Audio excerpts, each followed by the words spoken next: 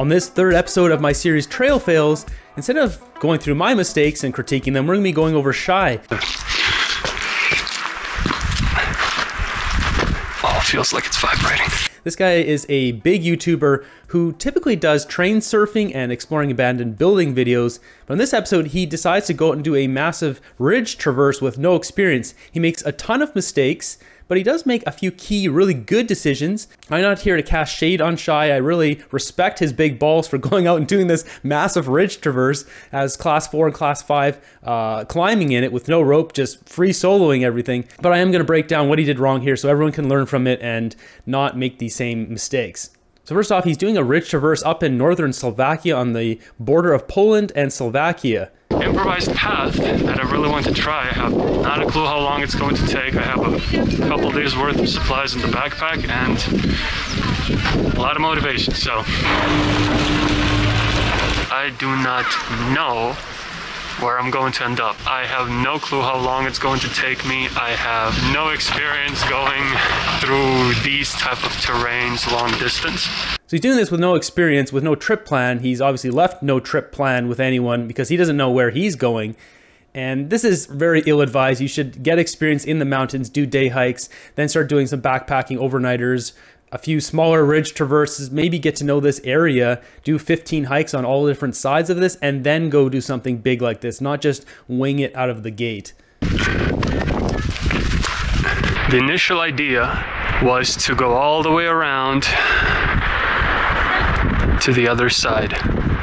As you can see, this is not amateur terrain. He's going over some serious stuff, and he's just winging it.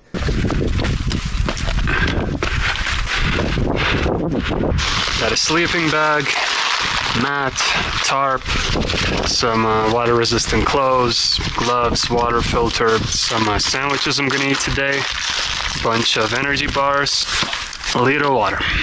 So right off the bat here, his supplies are pretty good. I'm impressed, especially for someone who doesn't have an experience. Now he's got one major mistake here, and that's one liter of water for a big ridge traverse is not enough. Uh, he should be bringing three liters of water up there, and you'll see later in this video that he's planning on going down to a lake and that's where he's going to get more water. But when you're on a ridge like that, especially seeing this terrain, the odds of getting down there very easily are not very good, um, if possible at all. And he doesn't even know, he doesn't have any beta whether he can get off the ridge down to the water. So, you know, hedging all of that on one liter is such a bad idea. Look at this, it's all wet. So looking at his shoes there, they look like they're a bit worn, but he is wearing the right kind of shoes. He has good tread on them. They do look a bit worn though. Uh, and he's dealing with terrain that it has just rained at some point. And later on, he does mention that there was a thunderstorm, I think the day before he went to do, go do this.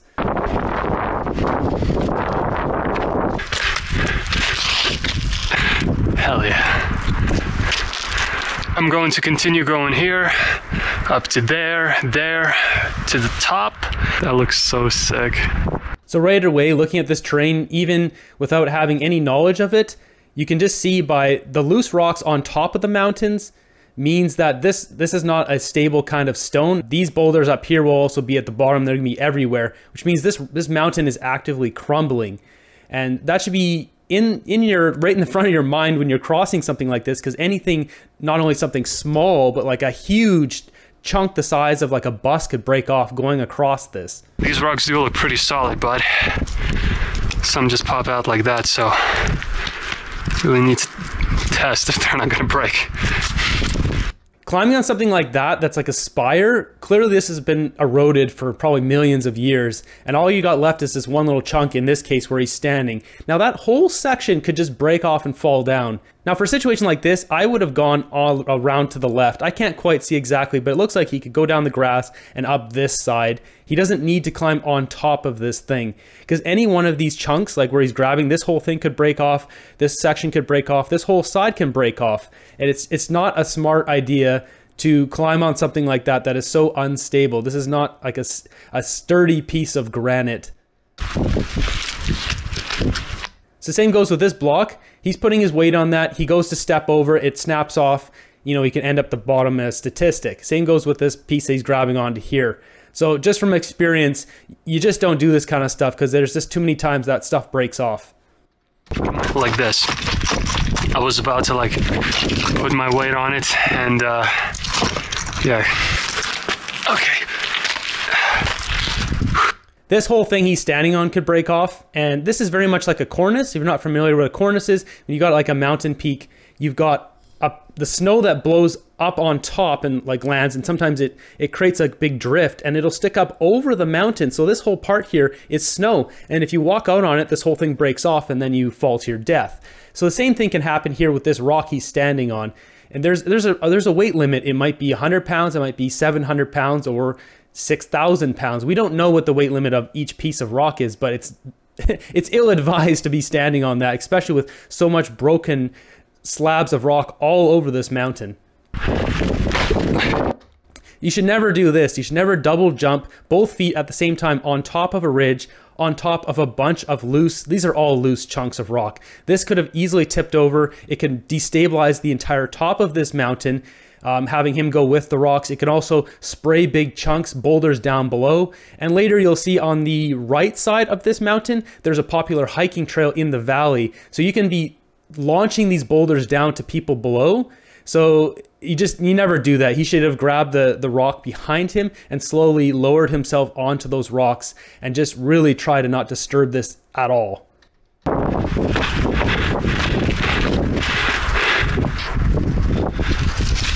Interesting. So what he's got there is a rope someone has left for rappelling off of this mountain. So obviously rock climbers are using this and they're climbing up with a rope and then using that to descend back down, leaving that in place. Let's see. Yeah, I think I can descend here.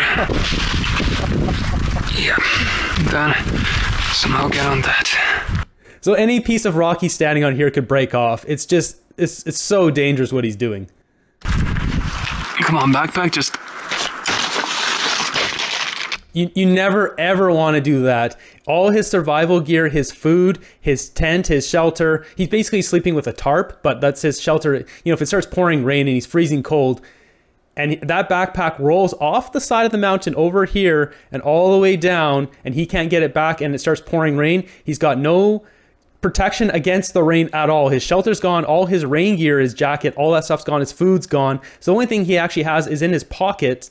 Uh, and later on, you'll see his, his phone is in his pocket. So that's basically all he would have left. So you never ever want to do that. There's different ways you can potentially, if you have to get the backpack off of your, your back, to get that down, you can look through. You should ideally, if you have a little piece of paracord, I always carry a piece of paracord with me and you can just tie that on your backpack and then slowly lower it into position so it doesn't gain momentum and just roll right off the mountain.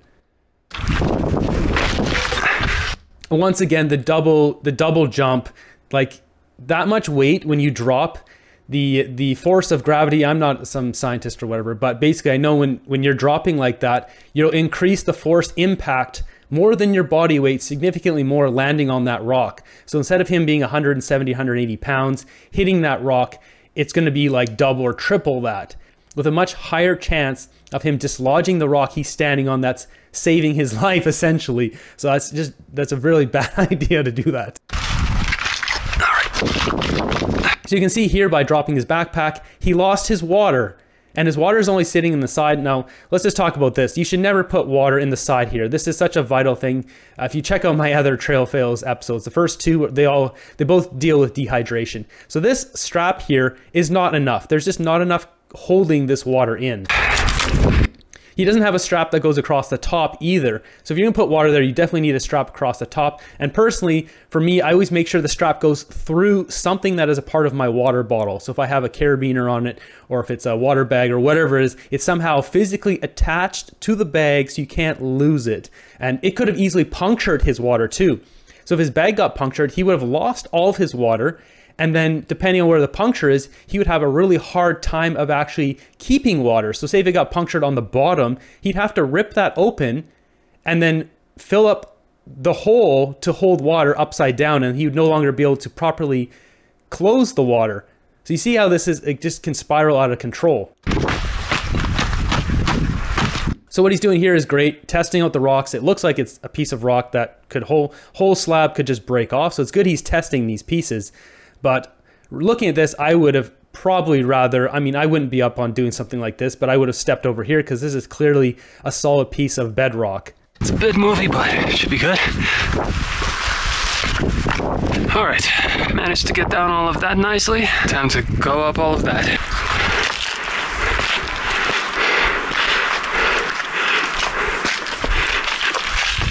Now, in doing stuff like this, like really scary, skinny ridge traverses, I personally never do this unless I have my poles.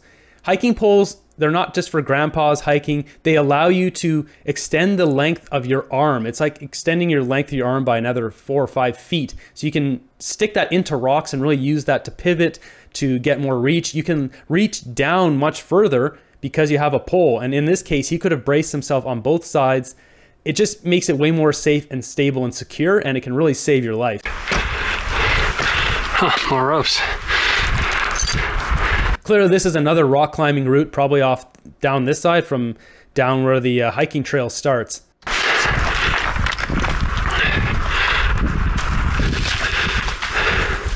This looks like an absolute disaster. All this stuff looks like just big chunks of rock that want to just peel off this mountain. Uh, you couldn't pay me to go do that. More rope. Nice.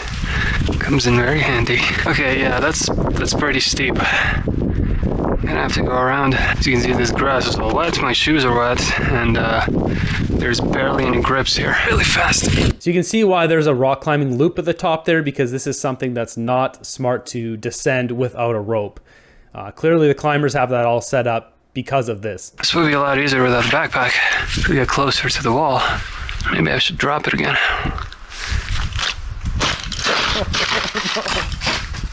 Okay, yep. All right, you can stop now.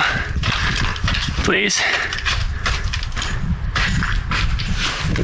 So that is probably the biggest mistake he made in this entire video. Once again, he's not just dropping it like six or seven feet like before. It goes all the way down there and it's gone past here. Now he does recover it, but it's the same thing as I mentioned. His water bag can get punctured. Maybe he doesn't have any more water by the time he finds it. Does his gear go everywhere? He actually has some like electronics on the top of his bag.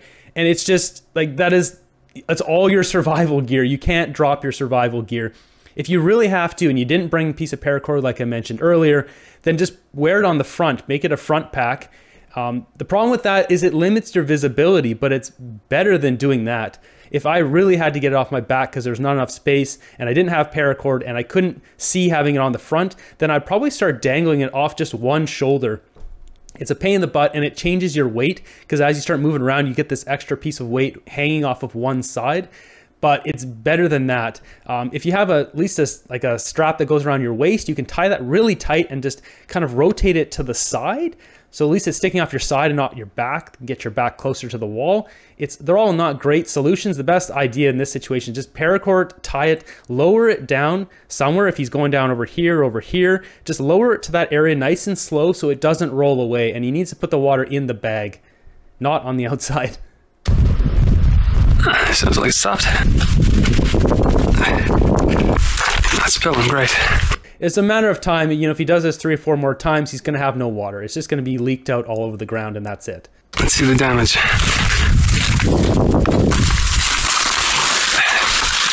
So you can see he's got a whole bunch of electronics in the front. Like, that's not something, you, as, as a filmmaker, I, I would never throw in my bag. It's just not going to happen. And the fact that it got stuck, look on this, the slope here, it could have easily gone down more and it would have been gone like another 500 meters down the mountain. Upwards. Okay. Okay, come on.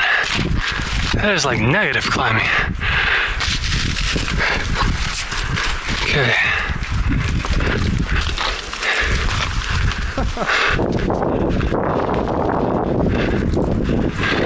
So this kind of stuff, like you can see there's another rock climbing rope here. This is all like class five. We're not even, we're past hiking, we're past class four. This is definitely into the class five zone.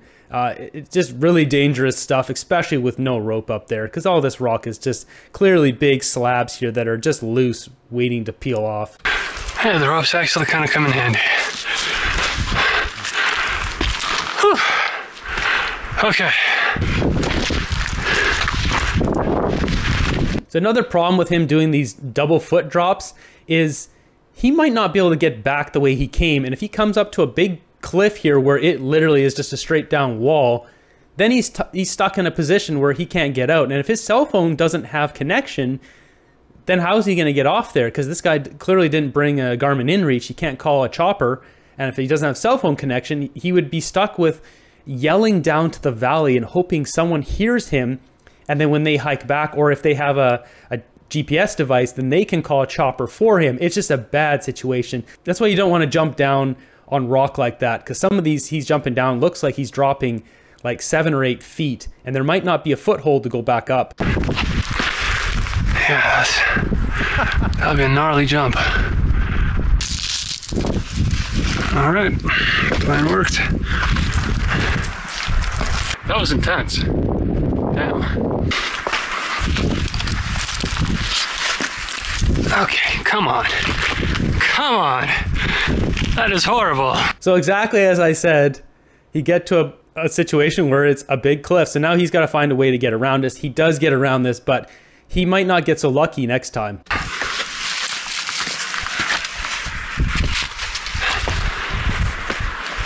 Nope. All right, so my idea is to just hang off with my leg there. So at this point in the video, this is the highest risk of death in this video. It's absolutely insane. And a lot of this, look at the where his feet are uh, placed on. A lot of this stuff is either incredibly slick or is ready to break off. Yeah, this is good enough. Well, that was surprisingly easy.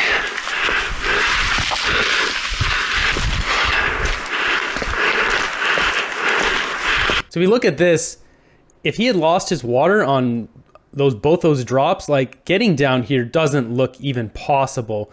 Like a lot of this grassy slope stuff, if you try to go down that, you just slide and you'll just go and go and go and you end up breaking your arms and legs if you're lucky.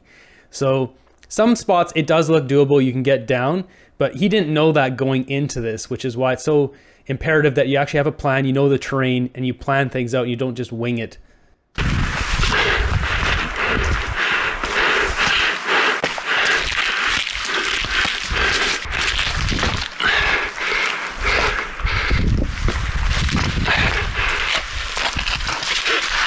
So this is a situation where if he had two trekking poles, he could easily reach below his feet and place them in these cracks of the rocks and use that as leverage to lower his weight at a slower rate. That way you don't gain extra speed because on a big slab like this, the last thing you want to do is gain extra speed because you might not be able to stop, especially if your if your shoes like his didn't look like they had perfect grip on them. They weren't fresh out of the box.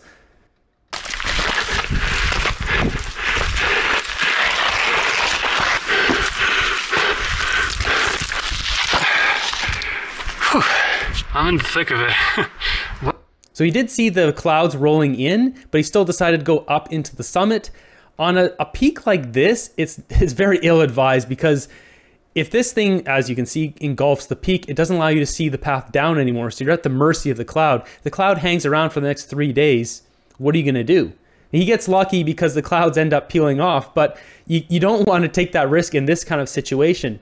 Now, my James Peak video, I went up into a big cloud like this, which was still ill-advised because there was thunderstorms in the distance, but it was a very easy trail to follow. It was a very simple mountains, nothing technical like this. So I could have followed out the trail only by seeing two or three feet in front of me easily all the way back to my car.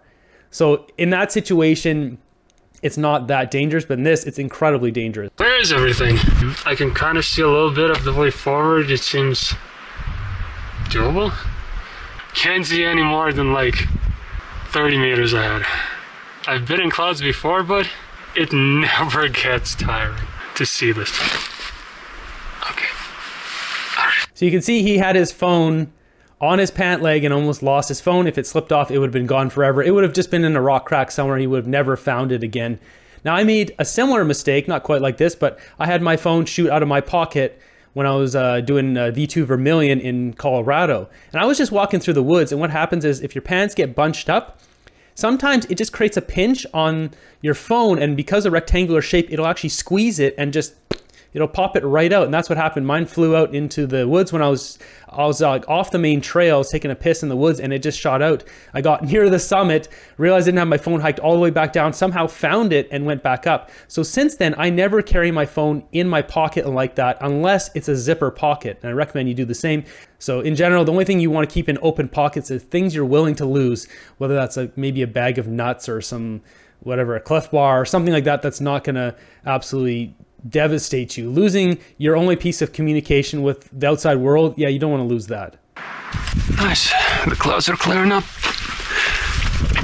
So he gets a break in the clouds, and allows him to descend, but try and just think about doing this descent with no visibility or like 10 feet. It's it would be almost impossible and you wouldn't even know which direction to go. Like you wouldn't know is this a better route? You wouldn't even be able to see this ridge or anything here. You would just be guessing. It's it, it's an absolute terrible situation. You can imagine if this stuck there for 3 days, he would be screwed.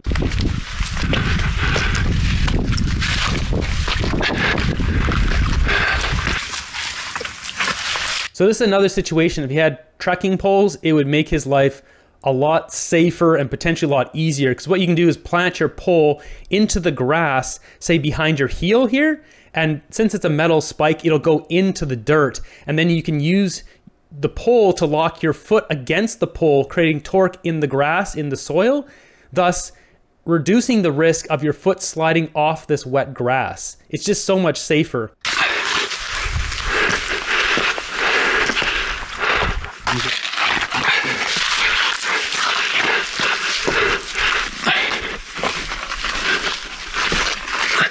arrows.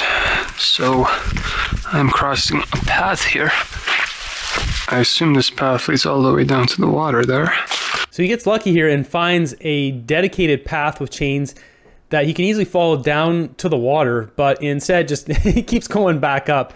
Uh, it's weird too because it doesn't look like he's had any water to drink this entire time. So he could be getting dehydration without even noticing. It happens to me all the time. I don't think about drinking water and then I get dehydrated. By the time you get dehydrated, it's too late. You need to drink water throughout the day and it takes time for the water to get into your system.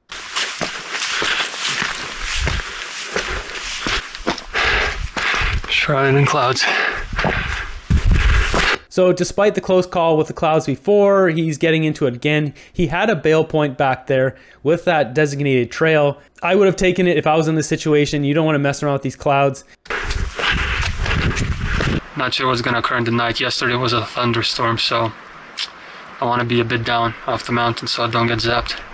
So he's up here at 5 o'clock, 5 p.m. I'm not sure what time of year this is filmed. It looks like it's either spring or fall based on the fact that it rained earlier and then it was only a little bit damp in some spots, but the rock was dry, I'm guessing this is probably late summer, maybe like a Septemberish kind of thing. It's likely he has daylight for another two to three hours. But at this point, if you're on top of a peak like that and you got clouds, like it's time to get off the mountain and get down into the valley. So at this point, he's just taking guesses on the route because he has no visibility. He might be going up to a dead end cliff drop for all he knows. Damn, that's an abyss. You can actually see the valley. Beautiful.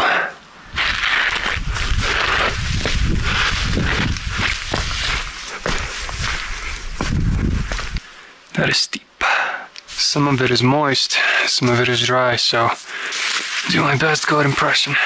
So this kind of terrain is very dangerous. It's very easily to slide on wet grass like this, and there's really nothing to grab a hold of. If you start falling, you'll just gain momentum until you just start smashing your bones you'd be lucky to be able to grab a tuft of grass and slow yourself down. For that reason, I use that trick with the pole. You stab the pole in and then push your foot against the pole so you get a good footing. This is what I did to descend Peak 1 in Colorado. Uh, my brother and I got stuck in a thunderstorm. Thunderstorm was coming in pretty fast and we had to descend very quickly.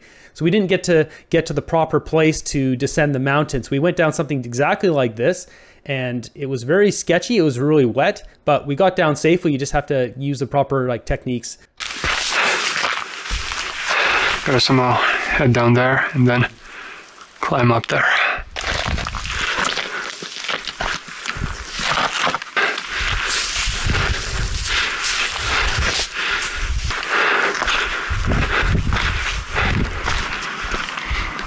This is a highly dangerous, dangerous place that only very, very experienced people should be up on.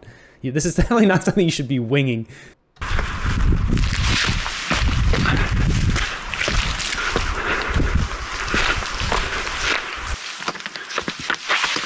All right, those rocks want to pass me. I'm getting down to the water through here. So you can see he kept on pushing till 7 p.m. on top with the clouds. He keeps getting lucky breaks at the clouds open and close, giving him visibility. But now he's got about an hour before it's dark. He's up on the middle of a ridge. I mean, look at this. This is, there's no way you're getting off of this unless you have, you know, a hundred so meters of rope and, you know, proper way to descend uh, with a rappelling device or rock climber. Still looks quite steep.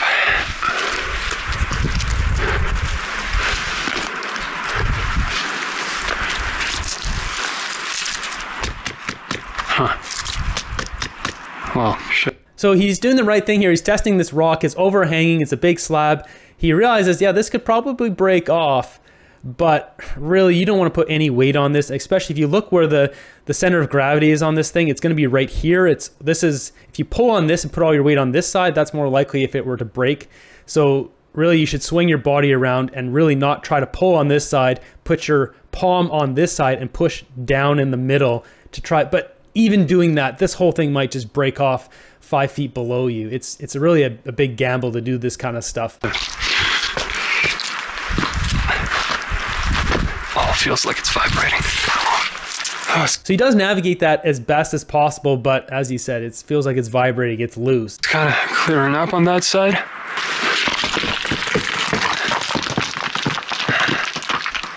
Damn. So as I said, any one of these can break off, especially once you put 100, 150 pounds of pressure, and that's what he just experienced there. When moving through terrain like this, you always want to have three points of contact. So you always have your hands and feet always on the surface and you're just moving one at a time. So you reach up, grab a new hold with your hand, then you move one of your feet, then you move one of your other feet. That way, if the, if the rock breaks off like it did right here for him, his foot is still planted on another rock and he's still holding on to two other rocks. At that point, you just have to hope that both your handholds and your other foothold don't all break at the same time. If they do, yeah, he's just going to be at the bottom of the mountain. Well, good thing it was the last foot push-off. I think I'm going to try to get down through here. So he makes an excellent decision here. He realizes that the initial mountain he was going to, the, the big one in the distance, is too far away. And he's making the decision to go down before it gets dark. Because he's already dealing with all the cloud and then have to do this in the dark, it would be impossible. You would have to find some spot and just like build a little spot to lay down uh, on an angle for the night. You wouldn't get any sleep. It would just be absolutely miserable. And if it starts pouring and it's rain and lightning and stuff, you might get hypothermia up there pretty easily. Yeah.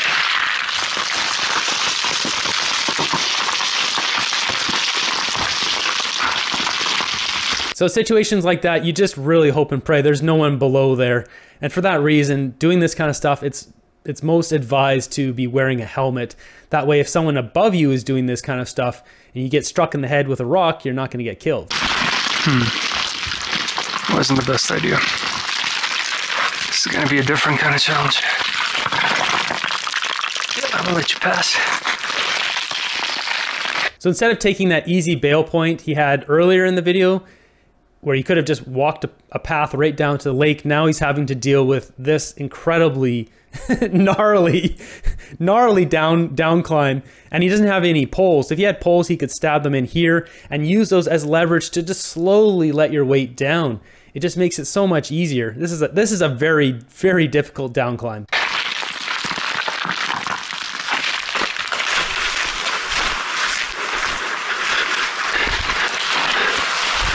So as predicted, he doesn't make it to the bottom before the sun sets and it's getting dark. This is not the kind of stuff you want to do in the dark. This is the kind of situation they end up twisting an ankle and then it makes it very difficult to get yourself out of the mountains, especially if you have 10 plus kilometers. Even on a nice trail to get out is just absolutely barbaric. And for that reason, if you have trekking poles, then you can use those as a crutch to get yourself out. Without poles, you basically have to like hop or crawl. If you twist your ankle really badly or you break your ankle, you're, you're basically screwed. Yes, the water. So he does drink his water at some point. He doesn't show it in the video, and clearly one liter for that wasn't enough.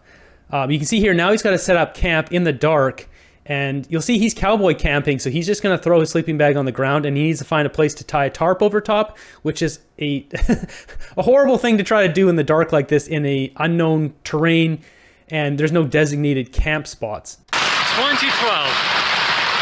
So yeah. Close to ground and it is, but there's space inside. I've got my food here, backpack there. Try to wait it out. So the fact there's blueberries tells me this is probably in late August or early September that he did this hike, and the fact he can cowboy camp like this out and without a you know full cover, big sleeping bag, all that kind of stuff. Okay, new plan. The sky seems to have cleared up for a bit. I don't really want to sleep on these blueberries. Plus the tarp setup is very, very not great. So I scattered around a bit. I actually got lost for a bit, but I uh, found my way. I built this little rock tower as one anchor point, and then the second one is good. So I like his decisions here. He quickly set up a camp because it was raining just so he had some protection. The rain goes away. He finds a better spot. Now he makes a huge mistake here. He leaves his camp and I think he goes out to get water or whatever, and he loses where his camp is. He doesn't even know where his camp is because it's so dark, and it takes him a long time to find it, and he gets freaked out. This is something you don't want to do. Um, this doesn't happen if you are in like a, a designated camping kind of area with trails and all that, because you just follow the trails back in the dark. But when you're backcountry camping like this, you really need to either leave uh, like a line of cairns or stacked up rocks to follow your way back to your camp. Look for very noticeable rocks or distinguishing features in the landscape, whether that's a bend in the river, is there a big boulder, something you'll be able to see within 10 or 15 feet, however, however big your light source is. It looks like he's using a light that's attached to his GoPro, so it's not that bright. It's more of like a wide floodlight, which is good for filming, but it doesn't push very far. It's not a spotlight like in a headlamp. Losing his camp with all his, his gear would have just been devastating, especially if it started pouring rain. Okay, I'm all snuggled in. Okay, there should be rain according to the forecast. So he did make a good decision here by checking the forecast and downloading that before he left. Barely slept. Not for long. When it comes to sleeping in the woods, if you're not experienced, it's going to take some time to figure out what exactly you need to feel comfortable sleeping in the woods. Some people, like me, I like to have a tent. I can't cowboy camp like this because I feel too exposed that a cougar can just reach in and grab me or a bear. I need to feel the false protection of a tent to actually be able to sleep. Uh, some people need big uh, sleeping pads or big pillows or bringing a full size pillow or whatever it may be. Everyone's got their own thing. Psychological reason, I guess. So in his case, he built this little rock wall. I think it looks pretty nice.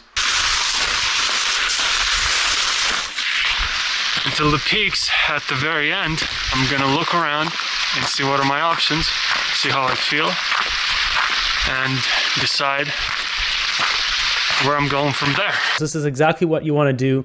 You can have a plan, but it's good to alter your plan based on how you're feeling. You don't want to just push, push, push and get yourself into a bad situation. Going to try to get to that peak, the smaller one. Yeah.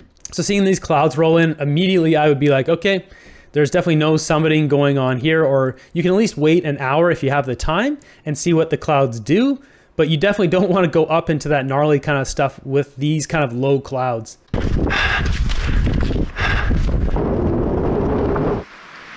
Yeah, I'm uh, I'm a bit tired. I'm a bit tired. I pushed myself. Gonna chill up here a bit, enjoy the view, start getting down. So he makes a, a really good decision here. He switches from his original plan of doing that horseshoe and he realizes he's too tired and he's just going to cut it here. It's it's not there's no problem with calling it. It's a hard thing to do especially when you get that summit fever and you're going up there and you want to bag the summit, but you got to listen to your body, look at the weather, look at the temperature outside, just look at all the factors. You know, if you get a little sprain in your ankle, like, eh, it's okay. And it's like, no, maybe it's better to turn around while you can still walk on that ankle because it'll get worse and worse and worse throughout the day.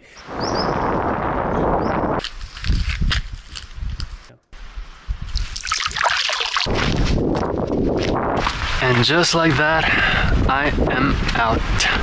So he successfully makes it out unscathed. It's a very entertaining video. I'll link it up here on the end. Uh, I really enjoyed watching it. It made my palms sweat, but there was a bunch of mistakes here, so hopefully we can all learn from them. And if Shiey, if you see this, hopefully there's no hard feelings. Uh, highly uh, respect. You got big balls going and doing that. If you guys enjoyed this episode, be sure to subscribe. I've got plenty of adventure videos of my own if you want to check out. Until next one, have a great day.